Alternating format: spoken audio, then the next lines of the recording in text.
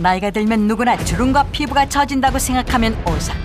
지금 나이는 40대인데 도대체 이들의 비밀은 무엇일까? 먹기만 하면 피부 미인소리 듣는다는 음식에서부터 초간단 동안 피부를 만들어준다는 관리법까지 당신을 피부 미인으로 만들어줄 특급 노하우가 닥터지바고에서 공개됩니다. 4월 21일 월요일 저녁 7시 10분 닥터지바고 많은 시청 바랍니다.